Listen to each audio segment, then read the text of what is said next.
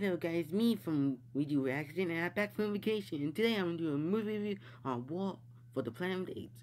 It's a good movie, I only watched the first, what, what first Planet of the Apes. I didn't watch the second one, so yeah, I'm going to watch the second one later.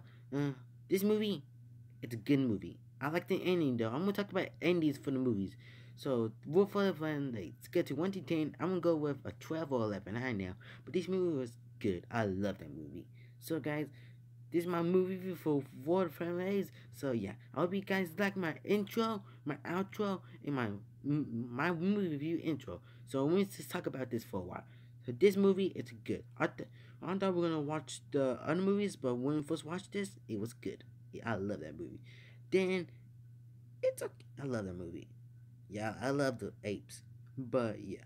So if you guys if you guys want to see this movie, go to the movie deals get a ticket, grab some good popcorn and a soda, and enjoy the movie. So guys, hope you like this. I hope you guys like this um movie review. I'll see you guys in the next video. Peace out.